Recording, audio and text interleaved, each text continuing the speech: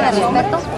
miembros del honorable ayuntamiento y funcionarios de presidencia municipal. No es que los niños no aguantan. Coordinador municipal de la Semana Nacional de Salud, doctor Rogelio López González.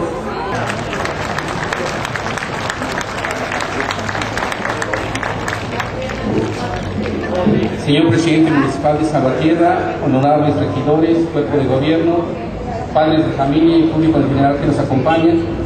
El día de hoy es un honor nuevamente estar con todos ustedes a nombre del señor secretario de Salud para llevar un nuevo mensaje a toda la comunidad de Salvatierra que nos apoyen en esta primera Semana Nacional de Salud que como ya se citó tendrá verificativo desde el sábado 16 y terminaremos el viernes 22 del presente mes.